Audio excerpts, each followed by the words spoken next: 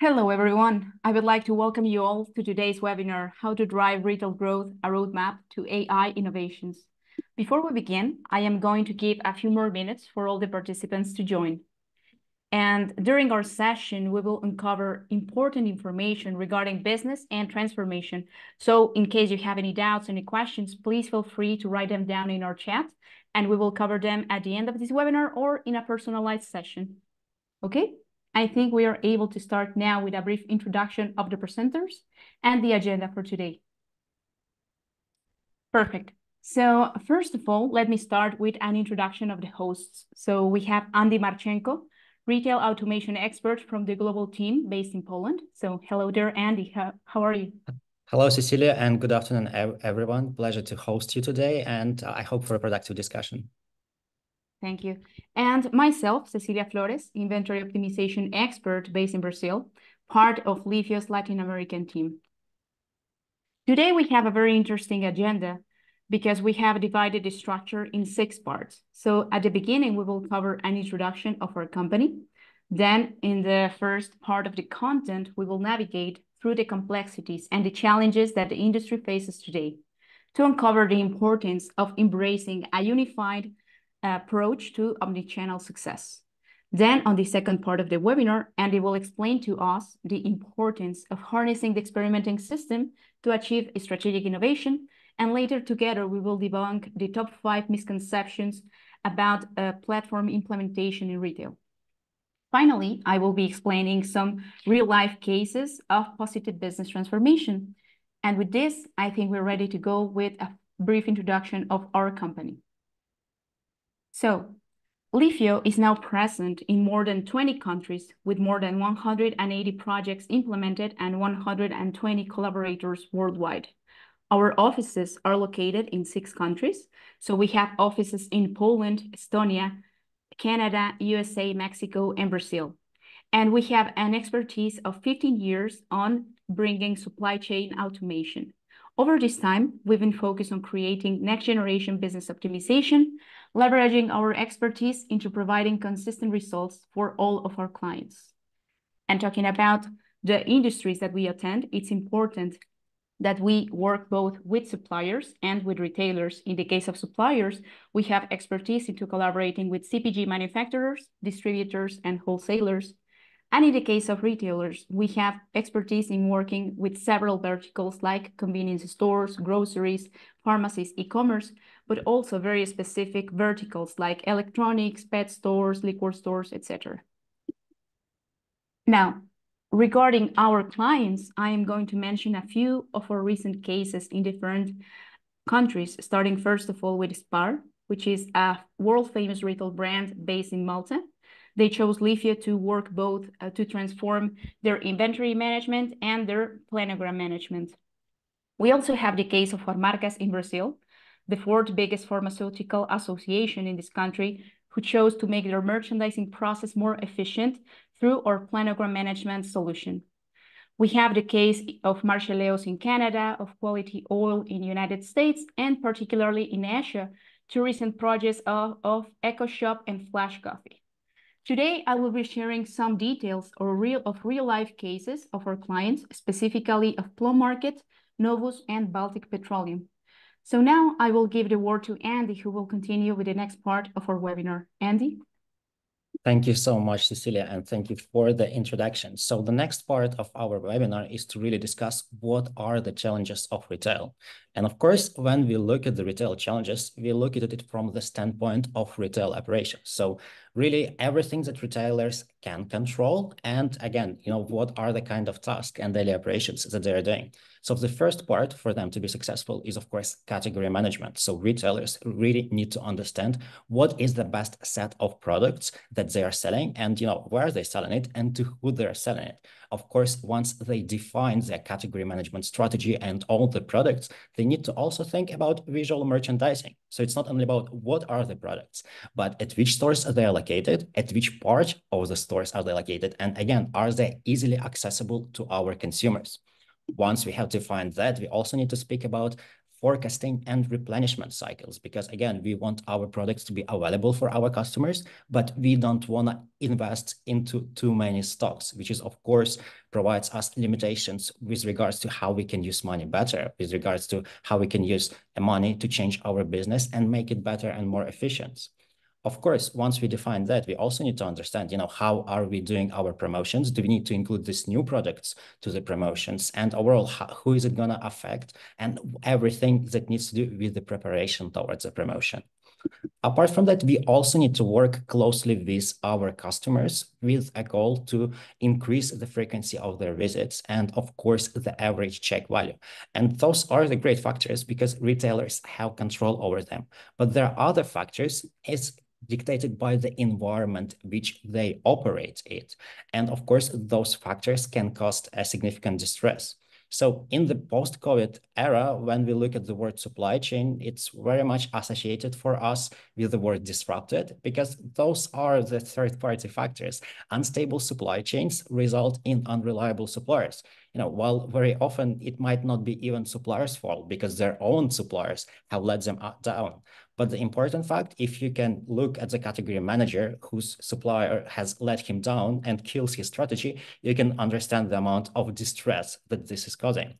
Competitors, this is again coming from many directions. There are global competitors, global e-commerce who can come to your market and again, without any presence take away your market share. But also, again, we are speaking about competition between larger and smaller firms. Sometimes, you know, our customers who, for instance, represent a smaller side of the business, they argue that, you know, sometimes their competitors get a better price at the retail than they buy it from the suppliers directly. So again, this is a big factor that causes a lot of distress.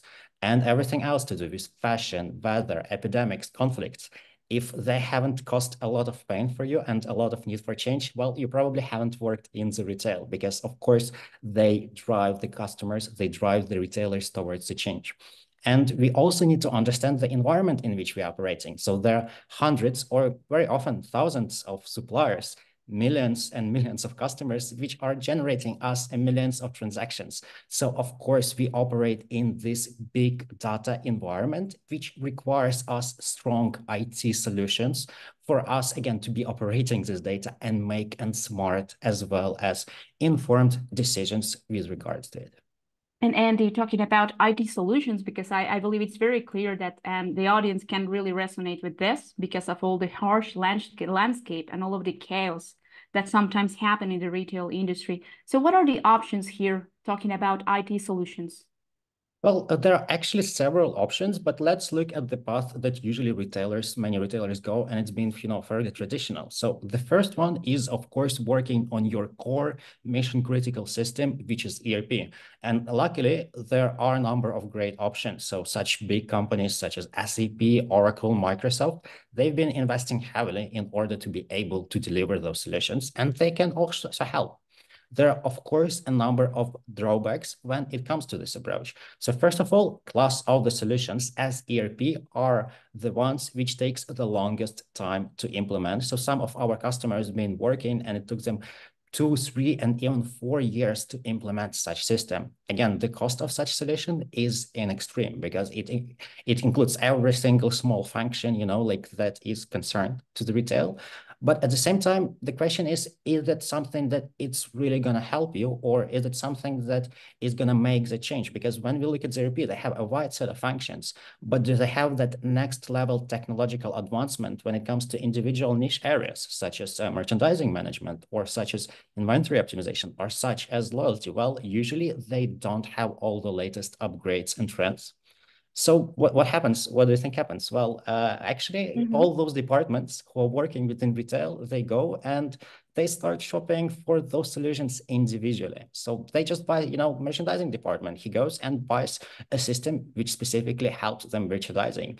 Again, marketing department goes and buys the system which only helps them with loyalty. And this is better first in many cases because again this can be much faster because it doesn't take so much time to implement but the issue is that is that you have to support in parallel all those different solutions. You have to pay all those different subscription fees to all those different companies. And the important part, it doesn't help your operations as it doesn't have that synergy, it doesn't provide that insights, and it doesn't feed the AI with the big data it requires to bring you to the next level of results. Mm -hmm. It might even bring a bit more of complexity uh, Absolutely. A, a, lot more complexity, but there is a mm -hmm. third approach, and the third approach, what we are going to discuss about. And this is another approach that can help retailers to gain the traction and fast results when it comes to digital transformation challenges. And here we are speaking about a unified platform approach which can help to automate various areas of the supply chain, but only with one solution.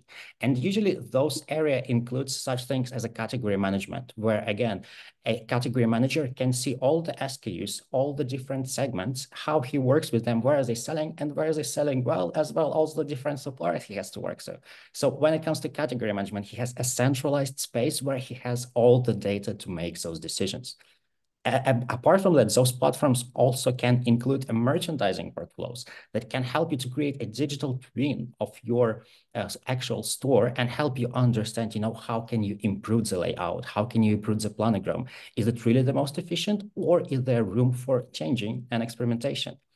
Uh, apart from that, there are also those systems can include number of algorithms that help can help you to improve the forecast accuracy for the demand of your products, and of course make better replenishment cycles to have a better control over your overstocks as well as lost sales. So uh, definitely there are a number of use cases, and the important part is that they can work together to help you get this type of speed of the executions that retailers require to navigate within that complex environment. Mm -hmm. And also important that there are many functional areas involved here and having them conversation conversating with each other is important. So do we have an example here to showcase how this works in reality? Absolutely. And kind of like uh, almost everything that you do in, in retail supply chain will somehow affect your cross-functional department. So let's speak about the most common example and, uh, you know, how it usually happens. So retailers, they, you cannot sell one product, you know, for all your time. There are, of course, very specific uh, exceptions, but overall, uh, retailers have to rotate their assortment. They have to find a better deals. They have to find something which resonates with their consumers better. So they need to be constantly rotating the assortment and seeing if they can get a better financial result. So after that, they also, after they define the assortment, they also need to understand and set up how are they going to locate them physically on the store level, where they're going to place them, how is it going to affect them, you know, if there's going to be any cannibalization in place. And again, you know, uh, basically define on where is it going to be located and how much of it shall be located for the layout. And of course, once that all done, only at that point procurement department can start ordering the products. But when we are talking about the unified platform approach, we understand there is one unified interface from which category manager can see all the information about all his SKUs within the category. What are the sales data? How well they're doing? What is the marginality? And which one shall be replaced? And the moment that the person does it, the merchandising team automatically gets all the information about the product, about the category, about the stores in which it should be placed, and all the information about, again, what are the alternative products products to be able to compare demand and make certain predictions with regards to the demand for this product. Again, the important part is that he automatically gets his task and he has all the same information in the same environment. After he has placed the products and established the merchandising strategy for that, the system can automatically start ordering products based on the information and based on the conditions we have from the supplier. So the question is, you know, how much time it would take you for, the question is how much time it would take you to change the product, to make those changes. And of course, when you're operating within a unified system environment, it can help you make it much and much faster. But again, that's not uh, the only benefits when it comes to the unified system. The important part is, of course, it helps you and provides you analytics, which are the based on the big data. And big data is the best food for the AI to help you generate those decisions. And of course, the speed of decision making can be also significantly faster because if you can see threat, if you can see shock, and if you can see challenge, the faster you can see it, the faster you can put your uh, strategy to eliminate this risk, the faster, the better result you're going to get. Uh, of course, uh, apart from that, all those unified platforms help to unify multiple, multiple teams. Again, merchandising and marketing, promotion team, and other teams. Again, we are working towards the same goal. And of course, when we have this unified environment, it's very easy to understand the goals for all of us. And it's very easy to understand how my work affects other department and how other departments' works affects me. What is also extremely important, unified platforms are not about one solution fits all. And there are different, uh, there are variety of uh, IT architecture that our customers have. They can have, you know, some parts very well automated, but other parts of the supply chain are still causing bottlenecks. So their solutions might not be, again, might not include everything. They might select some specific parts that would greatly enhance their workflow. And but the important part is it's, it is also, you know, a one-time integration with one platform. You can implement all those changes significantly and significantly faster. But uh, definitely, it's not that you know, like just take the platform, everything else. Uh, it's horrible. This is more about, again, how can you maximize your return on the investment in digital transformation and how do we evaluate those platforms is really, uh, first of all, based on how fast it can help you generate the return on investment. And as well, for benchmark purposes, want to share, you know, like how Leafio Unified Platform achieves those. So our goal and our pricing is based on the idea that we need to provide our customers return on investment within a six months. So this is not Netflix, this is Spotify, this is an enterprise software that makes you much more effective. And of course, while operating in the big data environment, this type of software allows us to really accurately see causes and effects and how our platform helps to improve the business.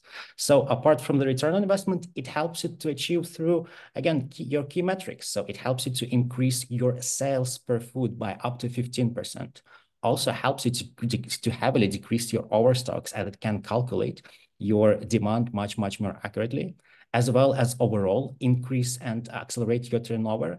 But also a very big part, which shouldn't be uh, that shouldn't be oversight is, of course, the amount of manual labor it requires.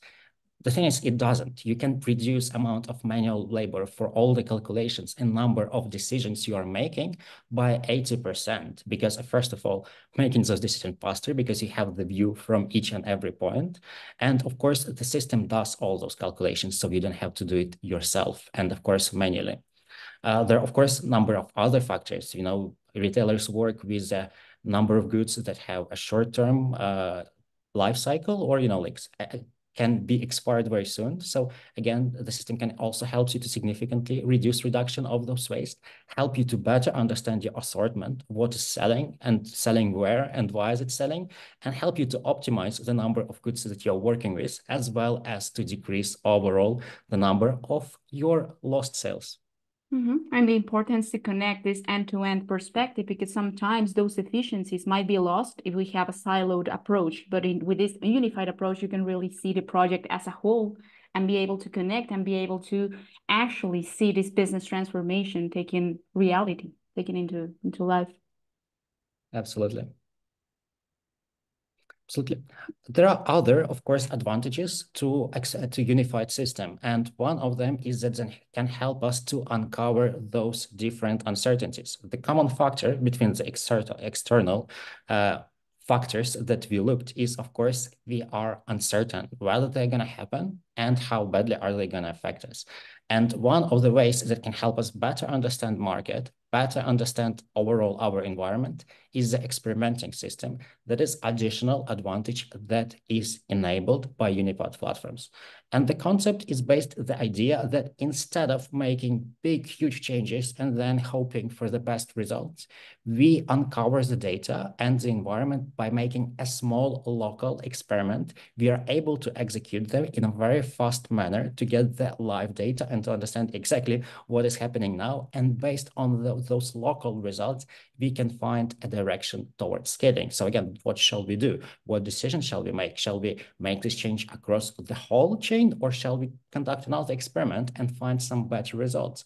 And there are a number of use cases it can be applied. Just to give you an example for some of them. So for instance, merchandising layout, it can, depending on how you place your products, it can have multiple effects with regards, you know, what is the number of stock you can have, how are your sales going to be, and again, other factors. So again, instead of you have the chain, for instance, a thousand stores. So instead of asking your local store employees and each and every single one of them to do a lot, a lot of manual hard labor to change everything, how about we can change it, for instance, in one store, or we can change in one store in each region. Or if you're not going to be sure about the results, let's take two or three stores in each region. But the goal is, of course, only to scale this change once you have understood that this is going to be a positive change and the market also responds positively. Apart from that, let's not speak only about customers, how they respond. Let's speak about uh, suppliers and their terms. You know, so we have the price and other factors when we are negotiating with our suppliers. The question is, can we really compare them? So we, let's say we have the same product, but one supplier is cheaper, but provides you with much better delivery schedule and allows you smaller minimum order quantity, but the price is a little bit more expensive. And there is a question, which supplier to work with? You know, naturally you can go and say, let's go for the supplier with a smaller cost, with a smaller price, which can also be a good decision. But are you sure about that? Because the if we need a longer delivery schedule, if they're like, you know, bigger distance between those delivery windows implies that we would have to have a much higher level of stocks. And of course, that has a cost itself. And with regards to minimum order quantity, same. So sometimes if the minimum order quantity is too high and we are not capable to sell it, we are going to get a waste and as well some other inefficiencies.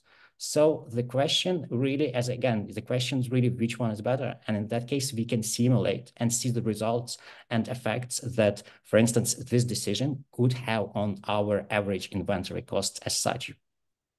So talking about all of that uncertainty, this uh, approach of experimenting system might even reduce even more the risk when facing this digital transformation. So I think it's very informative. And actually that takes us to the next part of our webinar because we interact a lot with clients as we discussed at the beginning of, the, of this webinar, clients of different verticals and with different business needs. So in this case, we have compiled the five most common prejudices for this business and software implementation for efficiency. So we will cover the top five right now. So the first one that we hear a lot is this uh, concern about the need to abandon the current ERP, the current processes that are, are already tied to it, and of course, all of the effort that has been placed with the current situation. What is this uh, in reality, Andy? Do they really need to abandon their current ERP? Well, so the first uh, comes first. Well, they don't need to abandon ERP because if they do so and only use the platform, platform cannot work from nothing. It requires the data that it takes from the ERP. So the goal of the platform is not to replace your ERP, but to supercharge and make it much stronger and provide it all the additional features that are required for you to be competitive in the today day and age. And of course, that's an important factor when it comes to ERP. So ERP is gonna stay there. If there's some some parts of the process which are very well work on the ERP, which are critical and don't cause any issues to the supply chain, there is no need to replace it. But every retail company, one way or another, has a number of supply chain issues which can be automated and, of course, provide a great impact towards their financial performance. Super. Okay, next prejudice that we hear a lot about is regarding the implementation times and complexity. So usually there is this misconception about all of the solutions taking a long time to implement and also taking a lot of resources from the company. So what is the reality behind this, Andy? Well, uh, the reality behind this is that no change comes without an effort. And of course, to become better, we have to do some changes. Uh, the question is, what are your options here?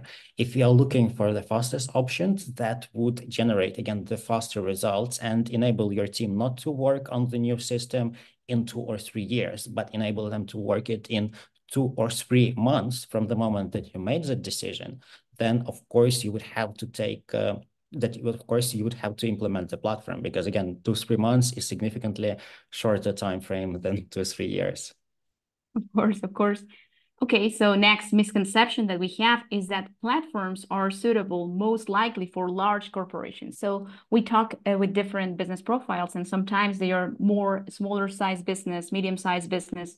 So what is the reality for them? Is it possible to implement a unified platform approach when the business is not that big? Well, uh, interesting enough, one could argue that smaller companies would benefit much more from the unified platform approach because if you look at the larger businesses, they already have a large landscape of different applications and they feel like, you know, it's automated. And of course, each and every application helps bigger business to be more competitive. So again, from our experience, usually the smaller companies take more of different modules as they have a very low level of automation there. So in reality, if you are speaking about the type of project which would include full set of modules, that would most likely be generally a smaller company, but which wants to be more competitive and which just doesn't accept the fact that the customer is going to go to their competitor rather than their own store. Mm. And an important point here to mention is just that this integration happens only once, but then we can connect the modules uh, and accompany the growth of our client together. So in this case, this is not something that would be considered like a bottleneck or a risk for medium-sized companies.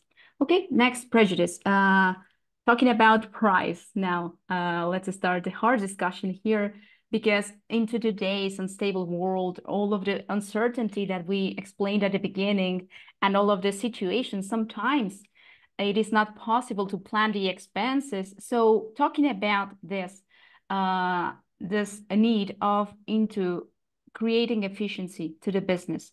Is it considered an investment to focus the resources of on one of those type of solutions, or should it be considered as an expense?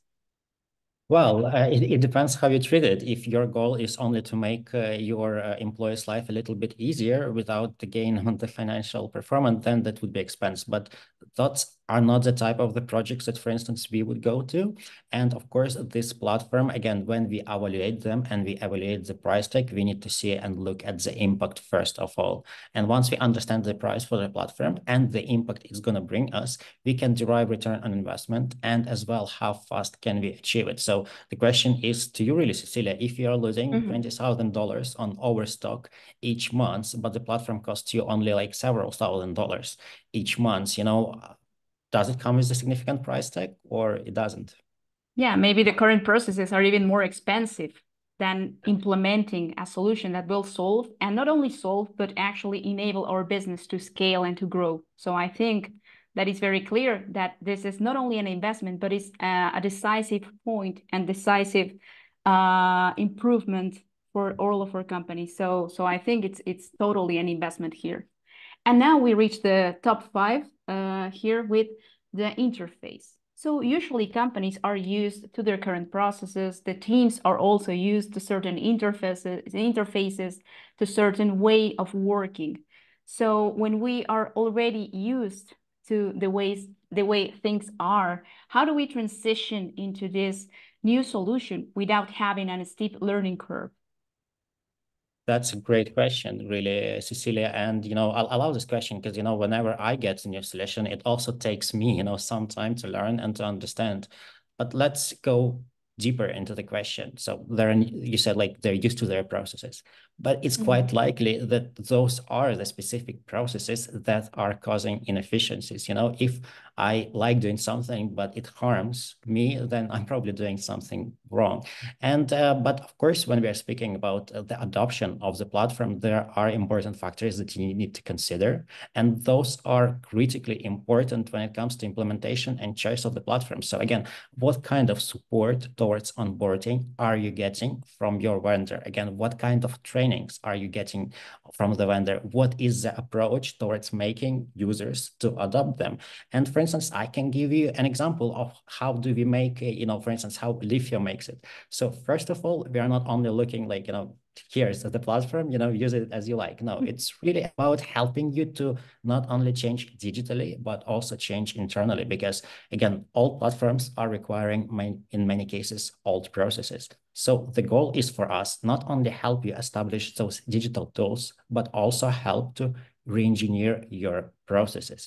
And usually we do it by actually working together, and that's really an operational mode. So when we start our projects, we usually our trainings go on a limited category, on a limited business, and we mm -hmm. just mm-hmm. start working use case by use case with uh, with future end users, you know, the people who are adapting. And of course, they have a dedicated customer success who they can call every time, but of course, every time they go through a new use case, how to add new the product to assortment, how to change this planogram again, how to review a specific type of data and report, mm -hmm. we are mm-hmm. doing it together. So you really, if that's a big concern for you, if you have a very large team and you're very concerned about adoption, really evaluate the change ma management and uh, uh, change management practices of the vendors that you're planning to work with, as this is, of course, is going to be an important factor for you. Totally, totally. And that actually brings us to the last part of today's session, which is the real life case studies. When, uh, as we mentioned, the platform approach helps us achieve business results much faster and much more efficiently. So now I am going to share some of our collaborations that we have done across the globe in three different cases and with three different business needs. So the first one of them is uh, Plum Market. Plum Market is one of our customers, and they wanted to become much, much faster in their operations. They were clearly expanding and consistently opening new stores.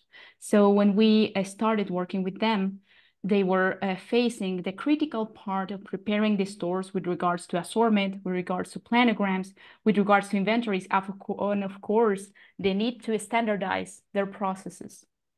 So in this case, what is great about this is how the platform approach can actually help and save the time, increase performance, and actually connect the full operation from an end-to-end -end perspective. So we are very, very, very proud to share that with the implementation of Leafio, Plum Market achieved a 30, 32% growth, uh, 30 through, sorry, 32% faster store launch, and was able to connect their merchandising process in 100%, which is not only talking about the merchandising, but the business process as, as overall. So in this case, uh, taking an example of the time that they used to take before Leaf implementation, for stocking shelves, they used to take 14 days. When implementing Leafio, they were able to reduce this time by four and a half days. So this was only possible because of having a complete floor plan and planograms available in our system. So in this case, uh, talking about the speed, Plum Market is a very interesting case study. And now talking about the experimenting approach, we have a second example of Novus. Novus is an European supermarket chain that we have been collaborating with for over nine years. An important part to mention here is that when we started conversations almost a decade ago, they used to have around 40 stores. And now their business has grown, enabled them to buy and to acquire an important business group called Billa, scaling their operations. So at the start of our implementation, we had this experimenting approach that we mentioned throughout today's session, connecting our inventory management system to a specific stores and then comparing them to the rest of the chain. We connected and talking about the field, we focused on delivery schedules and purchasing process. And in this case, we were able to see in a 12 week perspective how the excess of inventories were reduced by 48% and that we were able to increase their performance in sales, their performance in uh, reducing other negative indicators. So in that case, we were able to actually almost a decade ago have this experimenting approach to provide these business results and then scale to the whole retail chain. And when we did that, the results were outstanding. I'm just uh, just because this is very important for Novus, you know, it's a very complex case, but I'm just bringing here the main indicators. So when we were able to actually scale the operation completely, the results were outstanding. We were managed to we managed to increase their sales in 10%. We managed to increase uh, their uh, improve their turnover by 15% reduce their stocks by 11%, and actually achieve a service level of 98%. And in this case, the same team was managing. So imagine the level of improvement of the performance, talking about the same persons, but now connecting our system was very uh, decisive into bringing this business transformation. And just to finish this Novus example, a very important aspect to consider also is that we brought this uh, long-term collaboration, but also this experimenting approach. So Leafio nowadays is a platform that enables them to do some tests in their stores. So they can prove certain initiatives for category management. They can actually focus on certain stores and make sure to compare this before and after, actually providing them with all of the support and all of the platform to have these systematic changes and even grow uh, in a faster way.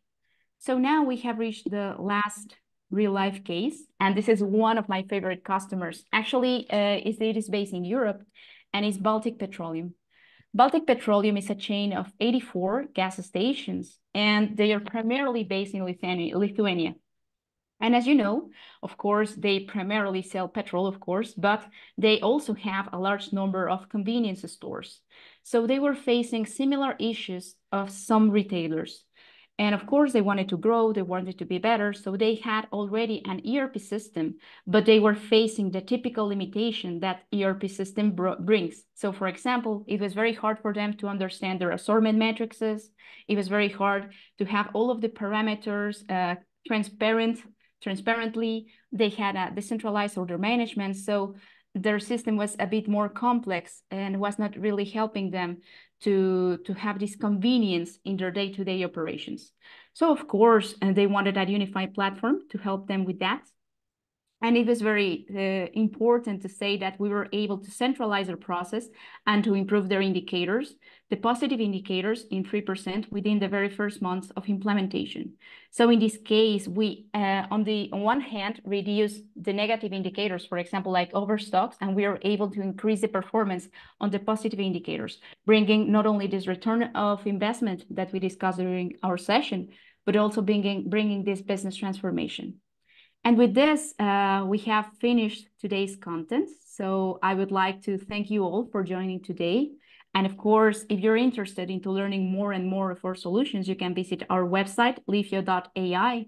And in case you want to learn even more and see how we can particularly help your business, you can always call to our numbers or just leave your name in our landing page for a demo request. We will be happy to answer all of your questions in a personalized session and make the analysis whether the solution would be able to accelerate your business or whether you're already doing very, very great. So I just want to, to see because maybe we received some questions here during our session. I don't know if we will be able to, to answer to them right now, or maybe we contact the person directly. In this Absolutely. case, I think, so yeah. Absolutely. Uh, absolutely, Cecilia. And thank you very much for your participation here. And thank you for everyone today. So it's important that we can, of course, help uh, to learn of the platform much better. And again, if you have any questions, we would be happy to uh, to invite you to the personalized sessions where we can again learn what is currently happening in your business. And again you know whether the platform could bring you the potential effect and what kind of solutions would be help. So again please uh, feel free to write to uh, our website. Uh, you just have a, a, a, simple button contact me. And again once you do it you will be you will get a call back within the next half an hour. So thank you so much for the participation today. And we are very ho ho hopeful to hear from you soon Thank you so much.